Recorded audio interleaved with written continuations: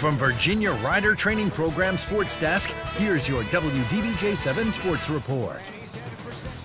The son of a likely future Hall of Famer from Southwest Virginia made his debut in the Bigs last night, and he made a stellar first impression. Will Wagner, a Liberty alum and son of Marion, Virginia relief pitcher Billy Wagner, played in his first major league game last night for the Toronto Blue Jays. Wagner would go three for four with a double, an RBI, and a run scored to lead the Jays 4 to 2 to a win over the Angels. With this accomplishment, Wagner becomes just the fourth Blue Jay in history to record three hits in his major league debut.